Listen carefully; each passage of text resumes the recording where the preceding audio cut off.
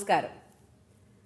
നമ്മുടെ എല്ലാം ജീവിതം മുന്നോട്ടേക്ക് നയിക്കുന്നത് ഈ ജീവിതത്തിന്മേലുള്ള പ്രത്യാശയാണ്.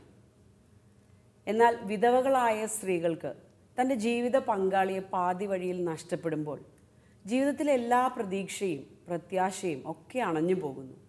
അത്തരത്തിൽ വിധവകളായ സ്ത്രീകളുടെ അതിജീവനത്തിന്റെ ഓർമ്മകൾ പങ്കുവയ്ക്കുന്ന ഈ അനുഭവവേദിയിലേക്ക് ഗുഡ്നസ് ടി വിയുടെ എല്ലാ പ്രിയപ്പെട്ട പ്രേക്ഷകർക്കും സ്വാഗതം.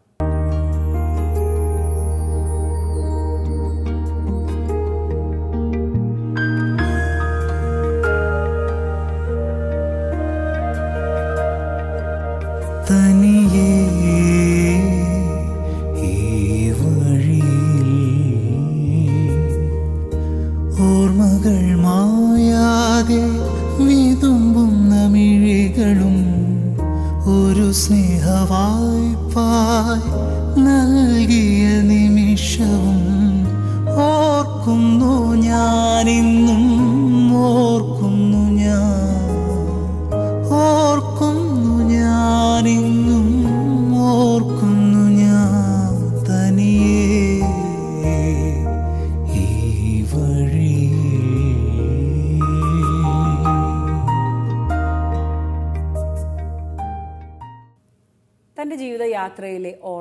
പങ്കുവയ്ക്കുന്നതിനായി. ഇന്ന് നമ്മോടൊപ്പം ചേരുന്നത് നാൻസി ചേച്ചിയാണ്. നമുക്ക് നാൻസി ചേച്ചിയുടെ വിശേഷങ്ങൾ ചോദിച്ചറിയാം. നമസ്കാരം. നമസ്കാരം. ചേച്ചിയുടെ പഴയകാല ഓർമ്മകളെക്കുറിച്ച് ചോദിക്കുകയാണെങ്കിൽ മനസ്സിലേക്ക് എന്തൊക്കെ ഓർമ്മ വരുന്നത്? ചേച്ചി ജനിച്ച സ്ഥലം വീട് സ്കൂൾ അതൊക്കെ മനസ്സിലേക്ക് ഓടി വരുന്നില്ലേ? ആ വിശേഷങ്ങളൊക്കെ ഞങ്ങളോട് പറയാമോ? ഞാൻ ജനിച്ചത് ചാലക്കുടി അടുത്ത് കുറ്റിക്കാട് എന്ന് പറഞ്ഞ സ്ഥലത്താണ്. അവിടെ വീട്ടിൽ അപ്പച്ചൻ അമ്മച്ചി അമ്മാമ്മ അപ്പാപ്പൻ അതുപോലെ സഹോദരങ്ങൾ? ആ പേപ്പന്മാരുണ്ടായിരുന്നു പിന്നെ എനിക്ക് രണ്ട് സഹോദരന്മാർ പിന്നെ ഒരു അനിയത്തി ഉണ്ട്. നാല് മക്കൾ. നാല് മക്കൾ. ഓ നാല് മക്കളിൽ എത്രാമത്തെ മോളായിരുന്നു? ഞാൻ മൂന്നാമത്തെയാണ്. അപ്പൊ അപ്പോൾ ഏതായിരുന്നു ഇടവക ഇടവക saint Sebastian church Kuttikkad. Okay. അപ്പോൾ അവിടെ അവിടെ ഞങ്ങൾ പാട്ട് പഠിക്കുമായിരുന്നു പള്ളിയിൽ പള്ളിയിൽ ഞങ്ങൾ പാട്ട് പാടിയിരുന്നു. കൊയറിലൊക്കെ ഉണ്ട്. കൊയറിലുണ്ടായിരുന്നു. ചെറുപ്പത്തിലെ തന്നെ പാട്ട് പാടുമായിരുന്നു പള്ളിയിൽ ആ. പിന്നെ സ്പോർട്സ് ഡാൻസ് ആർട്സിലും സ്പോർട്സിലും നല്ല പേരായിരുന്നു. പിന്നെ ഞങ്ങൾക്ക് അവിടെ ഇത് ട്രോഫികളൊക്കെ തരും മേടിച്ച ഫോട്ടോകളും ഇപ്പോഴും പോയാൽ കാണാൻ പറ്റും.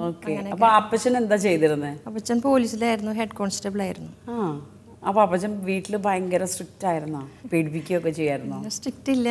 പിന്നെ അപ്പച്ചന് പിന്നെ ഇടക്കാലത്ത് വെച്ചിട്ട് വാദം എന്ന് പറഞ്ഞിട്ട് രോഗം വന്നു. അപ്പോൾ ഒരു വശം തളർന്നു പോയി.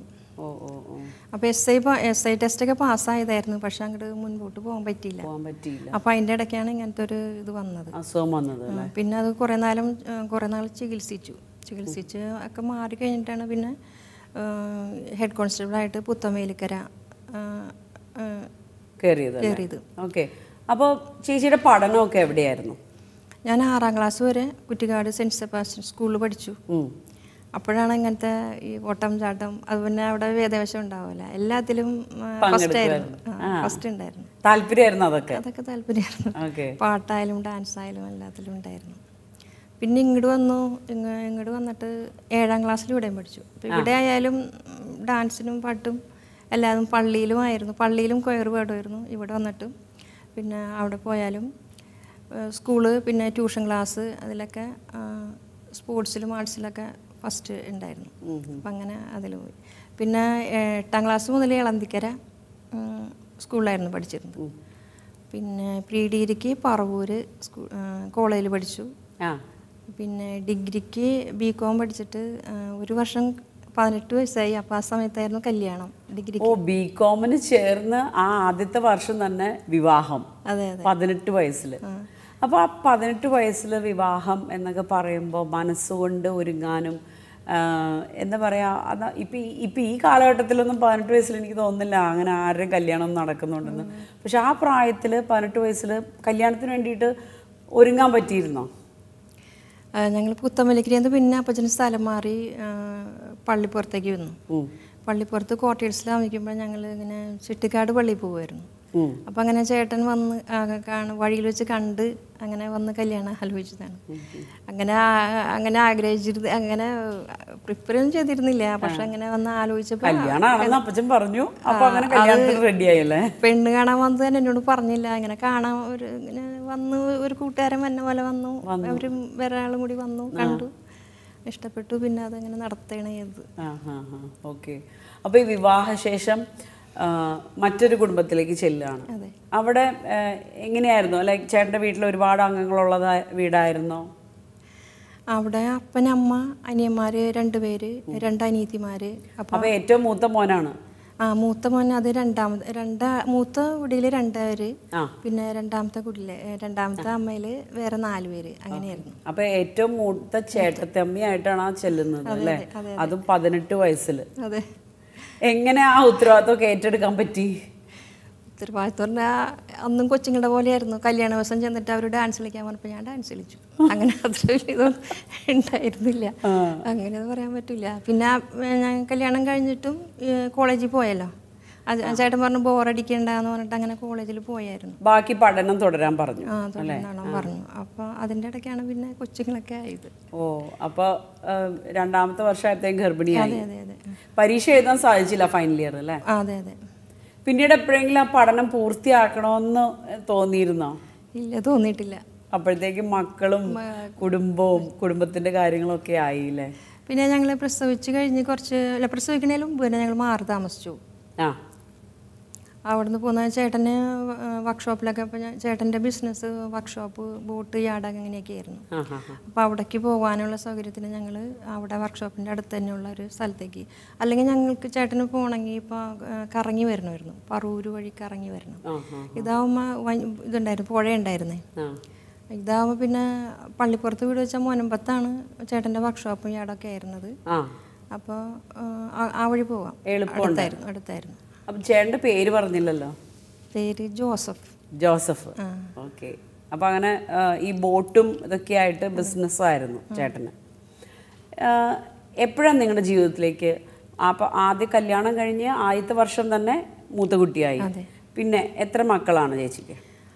എനിക്ക് മൂന്ന് പേര്. മൂത്തത് മോളാണ്. പിന്നെ ഇളയത് രണ്ടാണുങ്ങളാണ് ഒരു മോളും രണ്ട് ആൺകുട്ടികളും. മൂന്ന് മക്കൾ. ഓക്കെ. മക്കളൊക്കെ ഇപ്പൊ എന്ത് ചെയ്യുന്നു? മക്കൾ ഒരാൾ കല്യാണം കഴിഞ്ഞ് അമേരിക്കയിലാണ്. മൂത്ത മോൾ. മൂത്ത മോൾ. പേര്? പേര് ജെറീന. ജെറീന. അവൾക്കിപ്പോൾ ഏഴ് മക്കൾ.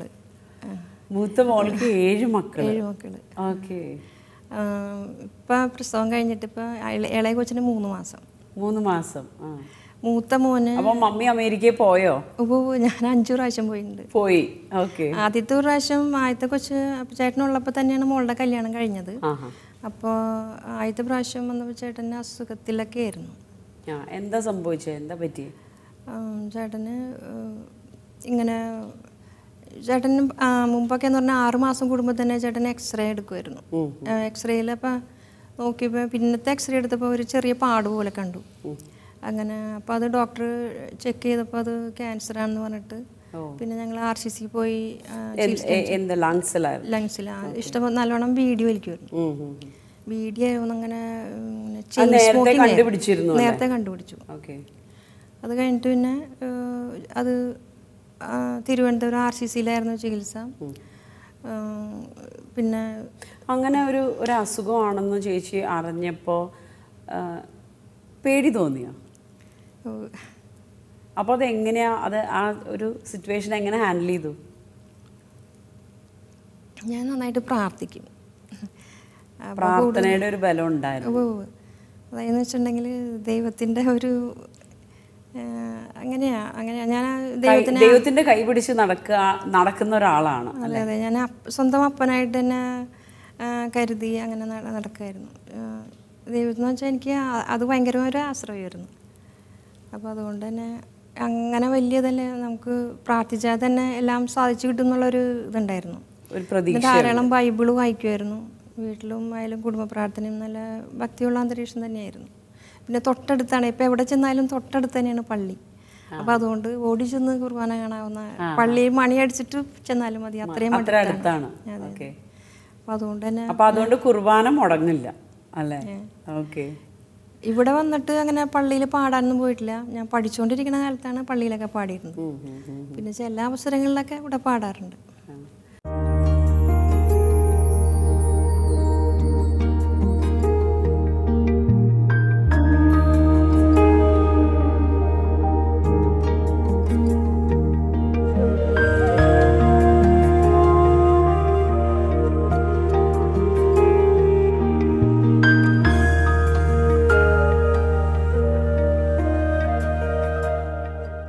ചേട്ടന്റെ ചികിത്സ എത്ര നാൾ അങ്ങനെ തുടരേണ്ടി വന്നു? എന്നുവെച്ചാൽ ഇവിടെ കഴിഞ്ഞിട്ട് പിന്നെ കണ്ടുപിടിച്ചിട്ട് പിന്നെ മെഡിക്കൽ ട്രസ്റ്റിൽ ഓപ്പറേഷൻ ചെയ്തു. ഓപ്പറേഷൻ ചെയ്തിട്ട് അവിടെ നിന്ന് പോയി. അവിടെ നിന്ന് ആർ സി സിയിലേക്ക് റെഫർ ചെയ്തിട്ട് അങ്ങനെ പോകണം തിരുവനന്തപുരം ആർ സി സിയിലാണ് പിന്നെ ബാക്കിയുള്ള ചികിത്സ ചെയ്ത് അവിടെ റേഡിയേഷൻ കീമോതെറാപ്പി ഒക്കെ ചെയ്തു. അത് കഴിഞ്ഞിട്ട് പിന്നെ മാറി പതിനാല് വർഷം മാറി നിന്നു. പതിനാല് വർഷം വേറെ പ്രശ്നമൊന്നും ഉണ്ടാവില്ല അത് കഴിഞ്ഞിട്ട് പിന്നെ സൗണ്ട് പോയി. സൗണ്ട് പോയി കഴിഞ്ഞപ്പോൾ പിന്നെ ഇത് ചെക്ക് ചെയ്തപ്പോഴാണ് പ്രശ്നം ഉണ്ടെന്ന് പറഞ്ഞിട്ട് പിന്നെ പിന്നെ രണ്ടാമതും വന്നു അതെ രണ്ടാമതും വന്നു. ഓക്കെ. എന്നിട്ട് അവിടെ ചെന്നപ്പോൾ ക്യാൻസർ ആണോ ചെക്ക് ചെയ്തപ്പോൾ അത് കണ്ടില്ല. പക്ഷെ എന്നാലും അവിടുത്തെ ചികിത്സയിലായിരുന്നു. പിന്നെ കുറച്ച് കഴിഞ്ഞപ്പോൾ ഡോക്ടർ പറഞ്ഞു നിങ്ങൾ പൊയ്ക്കോ ഇനിയിപ്പോൾ ഇവിടെ ചികിത്സ വേണ്ട. അപ്പോൾ നമ്മുടെ പനക്കലച്ചൻ പനക്കലച്ചനും ഇപ്പം മോളുടെ വീട്ടുകാരൊക്കെ ആയിട്ട് മോളെ കല്യാണം കഴിച്ചേക്കണ വീട്ടുകാരായിട്ട് ഫ്രണ്ട്സാണ് അപ്പോൾ നമുക്കൊരു ധ്യാനമൊക്കെ കൂടിയിട്ട് ഇനി എന്തെങ്കിലും ചികിത്സ ചെയ്യാമെന്ന് പറഞ്ഞു. അങ്ങനെ ഇവിടെ മുരുങ്ങൂര് ധ്യാനം കൂടെയാണ് ധ്യാനം കൂടി ഒരാഴ്ചത്തെ ധ്യാനം കൂടി. അപ്പോൾ ആദ്യത്തെ ദിവസം ബുധനാഴ്ച ഇങ്ങനെ കുംസാര ദിവസമാണ്. കുംസാരിച്ചപ്പോൾ ചേട്ടനോട് ചോദിച്ചപ്പോൾ പറഞ്ഞു രണ്ടുപേരോട് കൂടിയിട്ടില്ല എന്ന് പറഞ്ഞു. ഇത്തിരി ദേഷ്യമൊക്കെ ഉള്ള ആളായിരുന്നു. അപ്പോൾ അങ്ങനെ അപ്പോൾ പനികലാച്ചൻ പറഞ്ഞു അത് അതുകൊണ്ടല്ല പനികലാച്ചൻ പറഞ്ഞു ജോസഫ് ഒരു കാര്യം ചെയ്യും ഒരാഴ്ചയും കൂടി കൂട് എന്ന് പറഞ്ഞു. അപ്പോൾ അങ്ങനെ ഒരാഴ്ചയും കൂടി പിന്നെയും കൂടെയാണ്. അങ്ങനെ ബുധനാഴ്ച ദിവസം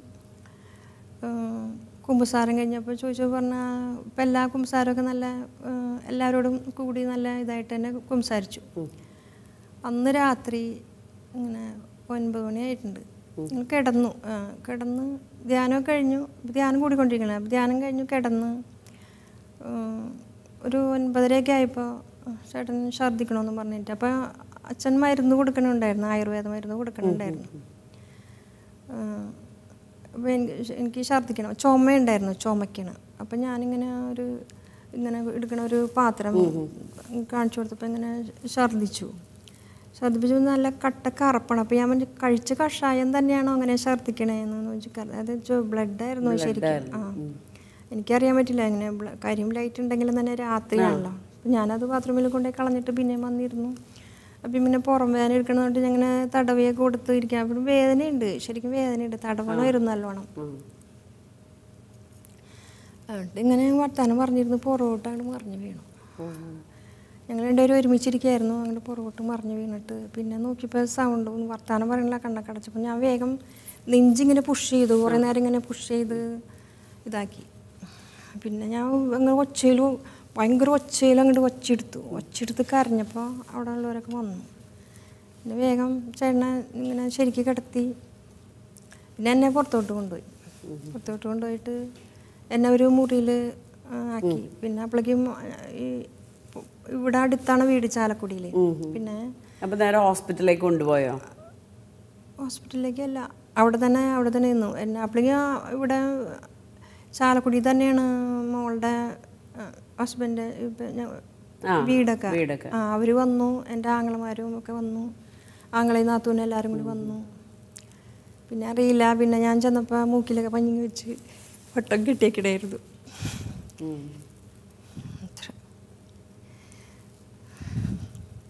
ഇപ്പോഴും ഇപ്പോഴും നമുക്ക് ആ ഒരു സാഹചര്യവും ഓർമ്മകളൊക്കെ മനസ്സിലേക്ക് വരുമ്പോൾ നമുക്കറിയാം അത് നമുക്ക് ആർക്കും താങ്ങാൻ പറ്റുന്ന അല്ലെങ്കിൽ പെട്ടെന്ന് മറന്നു പോകാൻ പറ്റുന്ന നമ്മുടെ ഓർമ്മയിൽ നിന്ന് മാച്ചു കളയാൻ പറ്റുന്ന ഒരു കാര്യങ്ങളല്ല.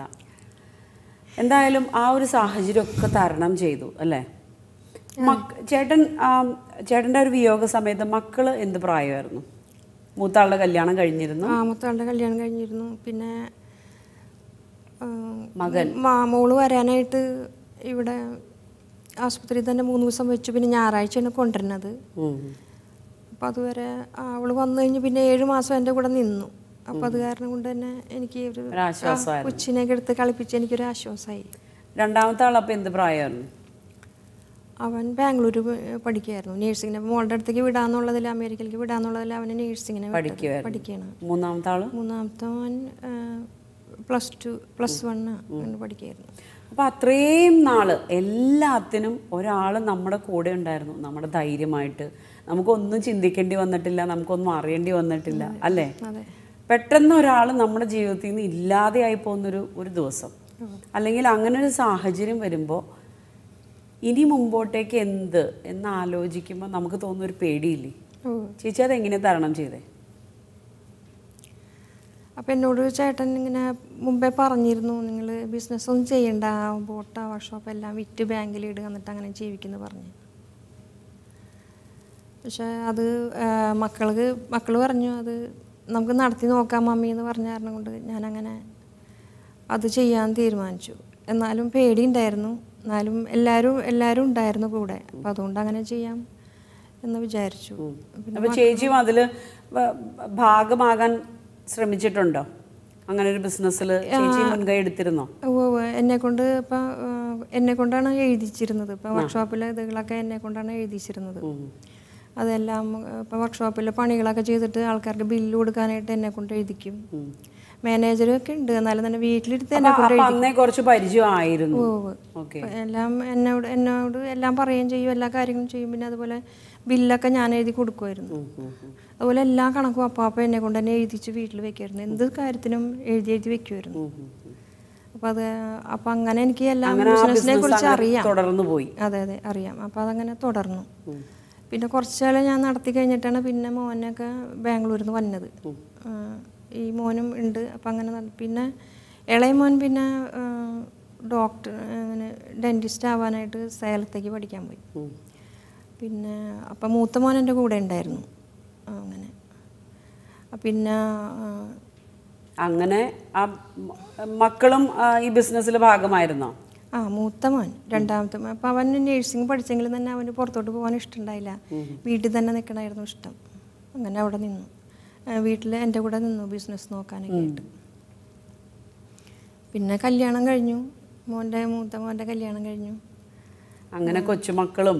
മക്കളൊക്കെ ആയിട്ട് ആ ഒരു നമ്മൾ ആ ഒരു വിഷമഘട്ടത്തിൽ നിന്ന് ശരിക്കും പുറത്ത് കടന്നു എന്ന് തന്നെ പറയാം അല്ലേ? അതെ അതെ കൂടുതലായിട്ട് പിള്ളേരുടെ ഒരു ഉള്ള കാരണം കൊണ്ട് പിന്നെ ഞാൻ അങ്ങനെ അങ്ങോട്ട് പിന്നെ നമ്മൾ ഒറ്റയ്ക്കാവുമ്പോൾ എങ്ങനെയായാലും തന്നെ ആ ഒരു ഇത് വരും. പിന്നീട് അതിനെക്കുറിച്ച് മക്കളൊക്കെ വലുതായി ഭാര്യ മക്കളൊക്കെ ആയി കഴിഞ്ഞപ്പോൾ പിന്നെ അങ്ങനെ അങ്ങോട്ട് ചിന്തിച്ചിട്ടില്ല. പ്രാർത്ഥനയും വിശ്വാസവും ഒക്കെ എത്രത്തോളം ചേച്ചിക്ക് ധൈര്യം പകർന്നുണ്ടായിരുന്നു അതാണ് എന്റെ ഏറ്റവും വലിയ ഒരു എനിക്ക് എന്റെ ശക്തി എന്ന് പറയുന്നത് പ്രാർത്ഥനയാണ്. പ്രാർത്ഥിക്കുക എന്ന് പറഞ്ഞാൽ പോലെ ഞാൻ ഫുൾ ടൈം പ്രാർത്ഥനയായിരുന്നു. ഇപ്പം എന്ന് വെച്ചിട്ടുണ്ടെങ്കിൽ വെളുപ്പിന് മൂന്ന് മണിക്ക് എനിക്ക് ഇരുന്ന് ഇങ്ങനെ അപ്പോൾ ചേട്ടൻ ചേട്ടനുള്ളപ്പോൾ തന്നെ അതങ്ങനെയാണ്. ഇങ്ങനെ ബുക്ക് തുറന്നു പിടിച്ച് ഉറങ്ങ ഉറക്കം വരണാനും കൊണ്ട് ബുക്ക് തുറന്നു പിടിച്ച് നടന്നാ നടന്ന് നടന്ന് ഇങ്ങനെ പ്രാർത്ഥിക്കും പ്രാർത്ഥിക്കും. അതുപോലെ തന്നെ ബൈബിൾ ആയാലും തന്നെ ഇഷ്ടംപോലെ അങ്ങനെയുണ്ട്. അപ്പോൾ ആ- ആരുടെ ആരുടെ കയ്യിൽ നിന്ന് അങ്ങനെ ഒരു പ്രാർത്ഥനാശീലം കിട്ടിയ അമ്മയുടെ കയ്യിൽ നിന്ന് അമ്മ അമ്മ നല്ലതായിട്ട് പ്രാർത്ഥിക്കുമായിരുന്നു. അമ്മയുടെ കയ്യിൽ ഇഷ്ടംപോലെ പ്രാർത്ഥന. അപ്പോൾ മാതാവിന്റെ ഇങ്ങനെ ഈ ക്രൗൺ വെച്ചിട്ടില്ലേ നക്ഷത്രങ്ങൾ ക്രൗൺ വെച്ചിട്ട് ഇങ്ങനെ ഇരിക്കുന്ന ആ പടം എനിക്ക് ഭയങ്കര ഇഷ്ടമായിരുന്നു. അത് എപ്പോഴും വന്ന് മുത്തയും അതൊക്കെ കളക്ട് ചെയ്ത് അതുപോലെ അമ്മയുടെ കയ്യിൽ ഇഷ്ടംപോലെ പ്രാർത്ഥന പുസ്തകങ്ങളുണ്ടായിരുന്നു. അമ്മ ജ്ഞാനായ ഇതിൽ പെട്ടതാണ്. അപ്പം അങ്ങനെ ഇഷ്ടം നല്ലതായിട്ട് പ്രാർത്ഥിക്കുമായിരുന്നു അപ്പം ആ ഒരു പ്രാർത്ഥന ആണ് എനിക്ക് ആ ഒരു പ്രാർത്ഥനാശീലം നാൻസി ചേച്ചിക്കും കിട്ടി. അത് തന്നെയായിരുന്നു ഒരു ധൈര്യം അല്ലേ? അതെ അതെ. ദൈവം എന്തു ചോദിച്ചാലും തരുന്നും. അത് എന്ന് വെച്ചാൽ ശരിക്കും അപ്പനായി എന്റെ ശരിക്കും എന്ന് വെച്ചാൽ ദൈവം എന്ന് പറഞ്ഞ ഒരു ഭയങ്കര ഒരു ശക്തി തന്നെയാണ്. അപ്പം ചേട്ടനെ തന്നെ ഞാൻ ആസ്പത്രിയിൽ കൊണ്ടുപോകുമ്പോൾ എനിക്ക് ഒരു വചനം ഉണ്ടായിരുന്നു. ആ വചനം എന്ന് പറഞ്ഞാൽ എന്നെ ശക്തനാക്കുന്നതിലൂടെ എനിക്ക് എല്ലാം ചെയ്യാൻ സാധിക്കും. ഈ ഒരു വചനമാണ്. അതായത് ഇപ്പോൾ ആസ്പത്രിയിലൊക്കെ പോകുമ്പോൾ എങ്ങനെയാണെന്ന് വെച്ചിട്ടുണ്ടെങ്കിൽ ഒരു മാസം തിരുവനന്തപുരത്ത് പോകുമ്പോൾ ഒരു മാസത്തേക്ക് അല്ലെങ്കിൽ രണ്ട് മാസത്തേക്ക് താമസിക്കാനുള്ള സാധനങ്ങളൊക്കെ എന്റെ കയ്യിൽ കാണും. അതായത് രണ്ട് സൈഡിലിട്ട് പുറത്ത് അതുപോലെ രണ്ട് കയ്യിൽ ഇങ്ങനെ തൂക്കി പിടിച്ചപ്പോഴും ചേട്ടനും പ്രയാസമാണ് ഇപ്പം നമ്മൾ ഇവിടുന്ന് കയറി പിന്നെ ട്രെയിൻ കയറാനായിട്ട് ഇവിടുന്ന് കവർ ചെയ്ത് പിന്നെ ഇപ്പുറത്തോട്ട് വരണമായിരുന്നു. ചേട്ടൻ ഭയങ്കര കഷ്ടപ്പെട്ടാണ്. അവരുടെ അപ്പോൾ ഒന്നും ഒന്നും ചെയ്യാനൊന്നും പറ്റില്ല. അപ്പം ആ സമയത്തായാലും ഞാൻ ഈ വചനം ഇങ്ങനെ ഉരുവിട്ടുകൊണ്ടിരിക്കും. എന്നെ ശക്തനാക്കുന്നതിലൂടെ എനിക്കെല്ലാം ചെയ്യാൻ സാധിക്കും എന്നുള്ളൊരു വചനമാണ്. അതിങ്ങനെ ഉരുവിട്ട് ഉരുവിട്ട്. എനിക്കത് ശക്തി തന്നെയായിരുന്നു അത്. ശരി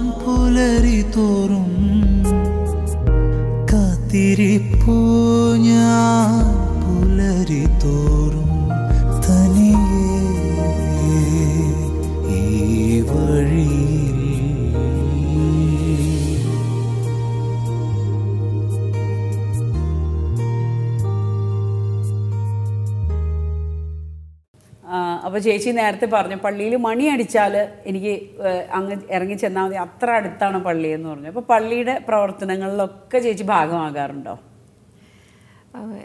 കാറ്റിസം പഠിപ്പിക്കുന്നുണ്ട്. ആ. പിന്നെ അത് ഞങ്ങൾ ഒരു ബെസ്ലിക്ക പള്ളിയാണ് അത്. ഏതാ ഏതാ ഇടവക? Manjumatha basilica. Pallippuram Manjumatha basilica. Pallippuram Manjumatha basilica. വലിയൊരു ഇടവകയാണ്. വലിയ ഇടവകയാണ്. ഒരു അൻപത് കുടുംബ യൂണിറ്റുകൾ തന്നെ ഉണ്ട് അവിടെ അതിൽ. ഓ അത്രയ്ക്ക് വലിയ ഇടവകയാണല്ലേ? അതെ അതിന്റെ അപ്പോൾ അതിന്റെ പ്രവർത്തനങ്ങളൊക്കെ എന്തെയാ? ചേച്ചി എന്തെങ്കിലുമൊക്കെ പ്രവർത്തനങ്ങളിലുണ്ടോ? ഭാഗമാകാറുണ്ടോ? ക്യാറ്റ്സും പഠിപ്പിക്കണോ. പിന്നെ വിൻസെന്റ് പോളിലുണ്ട്. വിൻസെന്റ് വിൻസെന്റ് സെക്രട്ടറി ആണ് പിന്നെ മൂന്നാം സഭയിൽ ഉണ്ട്. പിന്നെ സായം പ്രഭ എന്ന് പറഞ്ഞിട്ട് സ്നേഹദീപം സായം പ്രഭ നമ്മുടെ ഇവിടെ ഉണ്ട്. സായം പ്രഭ സായം പ്രഭ വയസ്സായവർക്ക് വേണ്ടിയിട്ട് ആ പ്രായമായവർക്ക്. അതിന്റെ- എന്തൊക്കെയാ അതിന്റെ പ്രവർത്തനങ്ങൾ അവിടെ മാസത്തിൽ രണ്ടാമത്തെ വ്യാഴാഴ്ചയാണ് അവിടെ വിളിച്ചു കൂട്ടുക. എല്ലാവരും വന്നു കഴിഞ്ഞിട്ട് പ്രായമായെന്ന് പറയുമ്പോൾ അറുപത് വയസ്സിന് മുകളിലുള്ളവർ അവിടെ വരുമ്പോൾ അവർക്ക് മോട്ടിവേഷൻ ക്ലാസ് ഉണ്ടാവും. പിന്നെ അതുപോലെ ഡാൻസ് പാട്ട് അതുപോലെ തന്നെ എന്തെങ്കിലും പരിപാടികളൊക്കെ വെച്ചിട്ടുണ്ടാവും. അതിനായിട്ട് ഒരാളുണ്ട്. രണ്ട് ആനിമേറ്റർ ഉണ്ട് പിന്നെ വേറെ ഇവരെ കളിപ്പിക്കാനായിട്ട് വേറെ ആൾക്കാരുണ്ട്. അങ്ങനെ അങ്ങനത്തെ കുറച്ച് മൂന്നാലഞ്ച് പേരുണ്ട് അതിന് അതിന് വേണ്ടിയിട്ട്. അപ്പോൾ അതിനപ്പോൾ അവർക്ക് നല്ല ഇതാണ്. രാവിലെ പത്ത് മണി തൊട്ട് ഒരു മണി വരെ നല്ല കളിയും പാട്ടും ചിരിയൊക്കെ ആയിട്ട് പോകും. ഭക്ഷണവും ഒക്കെ ആയിട്ട്? അതെ അതെ. അതിനിട്ട് ഭക്ഷണമൊക്കെ ഇവർക്ക് എടുത്തിട്ട് പിരിയാണ് ചെയ്യുന്നത്. ഓക്കെ. പ്രായം എനിക്ക് തോന്നുന്നു ആ ഒരു പ്രായത്തിലുള്ളവർ മക്കളൊക്കെ ദൂരെ ആയിരിക്കും അല്ലെങ്കിൽ ജോലിക്കൊക്കെ ആയിരിക്കും ഒറ്റപ്പെട്ട് കഴിയുന്ന ആയിരിക്കും. അപ്പോൾ അവ ശരിക്കും പറഞ്ഞാൽ അവർക്ക് അതൊരു എനർജിയാണല്ലേ ആരും സംസാരിക്കാനില്ലാണ്ട് ഒരു മൂലയിൽ ഇരുന്ന് പ്രാർത്ഥന മാത്രമായിട്ടിരിക്കണ കുറച്ച് ആൾക്കാരാണല്ലോ. അങ്ങനെ അപ്പം അവർക്ക് ഒരു ദിവസം ഒരു ദിവസം ഒന്ന് സന്തോഷിക്കാനുള്ള ആ ഒരു ഇതിൽ അങ്ങനത്തെ ഒരു ഇപ്പൊ പുതിയതായിട്ട് മൂന്നാം സഭയുടെ കീഴിൽ എന്തൊക്കെയാ പ്രവർത്തനങ്ങൾ വരുന്നത്? മൂന്നാം സഭയുടെ പാവങ്ങളെ സഹായിക്കുക എന്നുള്ളത് തന്നെയാണ്. പിന്നെ ഹോസ്പിറ്റലിലൊക്കെ സന്ദർശിച്ച് അവർക്ക് ഭക്ഷണം കൊടുക്കാറുണ്ട്. ഇപ്പോൾ വിൻസെന്റ് പോളും ഉണ്ട്. വിൻസെന്റ് പോളിൽ ഇപ്പോൾ ഈ ഈസ്റ്ററായിട്ട് കുറേ സാധനങ്ങളൊക്കെ കൊടുത്തായിരുന്നു. അരി അങ്ങനെയായിട്ട് പലഹാരങ്ങൾ ഉണ്ടാക്കണതും അങ്ങനെയെല്ലാം ഞങ്ങൾ പല വീടുകളിലൊക്കെ പോയി ഇങ്ങനെ കളക്ട് ചെയ്തിട്ട് അവർക്ക് കൊടുത്തു. ഒരു നൂറ് പേരോളം കൊടുത്തായിരുന്നു അങ്ങനെ. അതൊക്കെ ശരിക്കും ഭയങ്കര നല്ല പ്രവർത്തനങ്ങളുമാണ് അത് ഒരു ഒന്നര ലക്ഷം രൂപയ്ക്കുള്ള സാധനങ്ങൾ തന്നെ ഒരു ഒരു നൂറ് പേർക്കായിട്ട് കൊടുത്തിട്ടുണ്ട്. കൊടുക്കുന്നുണ്ട്. അപ്പൊ അതിലും കുറച്ച് പേരുണ്ട് പത്ത് പതിനഞ്ച് പേരുണ്ട്. അപ്പൊ അങ്ങനെ പള്ളിയുടെയൊക്കെ എല്ലാ പ്രവർത്തനങ്ങളിലും ചേച്ചി പങ്കെടുക്കുന്നുണ്ട്. അപ്പൊ ഇതൊന്നും അല്ലാതെയുള്ള സമയത്ത് അല്ലെങ്കിൽ നമ്മളിപ്പോൾ വീട്ടിലിരിക്കുമ്പോൾ ചേച്ചി പറഞ്ഞ പ്രാർത്ഥന ഭയങ്കര താല്പര്യമുള്ള കാര്യമാണ്. ഇതൊന്നും അല്ലാതെയും നമുക്ക് ഒരുപാട് സമയം ഉണ്ടാവും അല്ലേ? അപ്പോൾ ആ സമയത്തൊക്കെ എന്താ ചെയ്യാൻ ഇഷ്ടമുള്ള കാര്യങ്ങൾ എനിക്ക് ഗാർഡനിങ്ങാണ് ഏറ്റവും ഇഷ്ടം. ആ കൂടുതൽ വലിയ പൂന്തോട്ടമുണ്ട്. വലിയ പൂന്തോട്ടമുണ്ട്. അത് മെയിനായിട്ട് എന്ന് വെച്ചിട്ടുണ്ടെങ്കിൽ റോസപ്പൂവ് കർത്താവിന് കൊടുക്കുക എന്നുള്ളതാണ് പള്ളിയിലും ഉണ്ടായി പൂവ് വയ്ക്കുക അല്ലെങ്കിൽ നമ്മുടെ പൂ ഓക്കെ. ഇവിടെ ചേച്ചിയുടെ ഗാർഡനിൽ ഉണ്ടാവുന്ന പൂക്കൾ പള്ളി കൊടുക്കും. അതെ അതെ. ഇപ്പൊ ഇവിടെ ലോകത്തിലുള്ള എല്ലാ പൂക്കളും ദൈവത്തിന്റെയാണ് എന്നാലും ഈ കൈ കൊണ്ട് പറിച്ച് കൊണ്ടുപോയി ഒരു സന്തോഷമാണ് അത് നമ്മൾ നട്ട് നനച്ച് വളർത്തിയ ഒരു പൂവ്. അതെ അതെ. അപ്പോൾ റോസപ്പൂവ് കൊടുക്കും. ഞാൻ പോകുമ്പോൾ എപ്പോഴും മിനിമം ഒരു മൂന്ന് പൂവെങ്കിലും എടുത്ത് അല്ലാണ്ട് ഞാൻ പള്ളിയിൽ പോവാറില്ല. പിന്നെ പള്ളിയിൽ നിന്ന് വന്നു കഴിഞ്ഞാൽ തന്നെ അവിടെയുള്ള പൂക്കളൊക്കെ പറിച്ച് കർത്താവിന് കൊണ്ട് വെക്കും. വെക്കും. അത് കഴിഞ്ഞിട്ട് ആണ് പിന്നെ ഒന്ന് ചെടിയിലേക്ക് ഇറങ്ങണത്. അവിടെ ഒന്ന് കുറച്ച് നേരം നിൽക്കും പിന്നെ വേറെ മൂന്ന് പട്ടിയുണ്ട് വീട്ടിൽ ആ. അങ്ങനത്തെ അങ്ങനത്തെ ഇതൊക്കെ താല്പര്യങ്ങളും ഉണ്ട് അതെ. മൃഗസ്നേഹിയാണ്. അതെ അതെ. പിന്നെ എന്തൊക്കെയാ ഉള്ളത് ഒരു പതിനഞ്ചോളം കോഴിയുണ്ട്. ഒരു എട്ട് താറാവുണ്ട്. ഓ ആ, അങ്ങനെ അപ്പൊ ശരിക്കും പറഞ്ഞാൽ നല്ല നേരം പോക്കുണ്ട് അല്ലേ? കുറച്ച് പച്ചക്കറികൾ വളർത്തുന്നുണ്ട്. ടെറസിലൊക്കെ നല്ല പച്ചക്കറി വളർത്തിയിട്ടുണ്ട്. പൂ വീട് നിറച്ചും പൂവാക്കണം എന്നുള്ളതായിരുന്നു. അപ്പൊ കുറെ ബോഗൻ ഉണ്ട് അതൊക്കെ ടെറസിൽ വെച്ചൊക്കെയാണ് അങ്ങനെയൊക്കെ ചെയ്തിട്ടുണ്ട്. ഓക്കെ. അപ്പൊ ഇതൊക്കെയാണ് ഒഴിവ് സമയങ്ങളിൽ ചേച്ചി ചെയ്യുന്ന കാര്യങ്ങൾ ചേച്ചിക്ക് ഒരു ജീവിതത്തിൽ ഒരു പ്രയാസം അല്ലെങ്കിൽ ഒരു വിഷമഘട്ടം ഉണ്ടായി അത് തരണം ചെയ്ത് മുമ്പോട്ടേക്ക് പോയി. പക്ഷെ എല്ലാ സ്ത്രീകൾക്കും ചിലപ്പോൾ ഈ ഒരു വിഷമഘട്ടം ഇപ്പോൾ ജീവിത പങ്കാളിയെ നഷ്ടപ്പെടുന്ന ഒരു സമയത്തത്തെ ആ ഒരു വിഷമഘട്ടം കടന്ന് ജീവിതത്തിൽ മുമ്പോട്ടേക്ക് ചിലപ്പോൾ പോകാൻ സാധിക്കാറില്ല. നമുക്ക് ആ ഒരു ആ ഒരു വിഷമത്തിൽ തന്നെ നമുക്ക് ഇരിക്കുവാണെങ്കിൽ നമ്മുടെ കുഞ്ഞുങ്ങൾ നമ്മുടെ കുടുംബം ജീവിതം മുമ്പോട്ടേക്ക് കൊണ്ടുപോകേണ്ടതുണ്ട് അവരുടെ കാര്യങ്ങൾ നടത്തേണ്ടതുണ്ട്. ഇതെല്ലാം എല്ലാവർക്കും ചിലപ്പോൾ അത് ചെയ്യാനുള്ള ഒരു ധൈര്യവും ശക്തിയൊന്നും കിട്ടണമെന്നില്ല. അപ്പം അങ്ങനെയുള്ള സ്ത്രീകളോട് ചേച്ചിക്ക് എന്താ പറയാനുള്ളത്? എനിക്ക് ദൈവത്തിൽ ആശ്രയിക്കുക എന്നുള്ളത് തന്നെയാണ്. ഇത് പ്രാർത്ഥന എന്റെ മെയിൻ ശക്തി പ്രാർത്ഥനയും വചനമാണ്. ദൈവത്തിലുള്ള ആശ്രയം കൊണ്ട് തന്നെയാണ്. ഞാനിങ്ങനെ അല്ലെങ്കിൽ എനിക്ക് ജീവിക്കാൻ പറ്റില്ലായിരുന്നു. ദൈവത്തിന്റെ ഒരു കൃപ മാത്രമാണ് എനിക്കുള്ളത്. അപ്പം എന്തായാലും ചേച്ചിക്ക് ചേച്ചിയുടെ ഒരു പ്രാർത്ഥന ശക്തി അല്ലെങ്കിൽ പ്രാർത്ഥനയിൽ അടിയുറച്ച് വിശ്വസിച്ച് ഇനിയും ജീവിതത്തിൽ ഒരുപാട് മുന്നേറാൻ സാധിക്കട്ടെ. പ്രാർത്ഥനയിലൂടെ എല്ലാം സഹിക്കാനുള്ള മനോധൈര്യവും ശക്തിയൊക്കെ ലഭിക്കട്ടെ എന്ന് പ്രാർത്ഥിക്കുന്നു. നന്ദി. ജീവിതം കൈവിട്ട് പോയി എന്ന് വിചാരിച്ചെടുത്തു നിന്ന് മനസ്സ് പതറാതെ ഈശോയെ കൂട്ടുപിടിച്ചും കുടുംബത്തെ ചേർത്ത് പിടിച്ചും നാൻസി ചേച്ചി ജീവിതത്തിൽ മുന്നേറിയത് മറ്റുള്ള വിധവകൾക്കും ഒരു വഴികാട്ടിയാകട്ടെ എന്ന് പ്രാർത്ഥിക്കുന്നു. മറ്റൊരു അധ്യയുടെ വിശേഷവുമായി അടുത്തൊരു എപ്പിസോഡിൽ വീണ്ടും കണ്ടുമുട്ടാം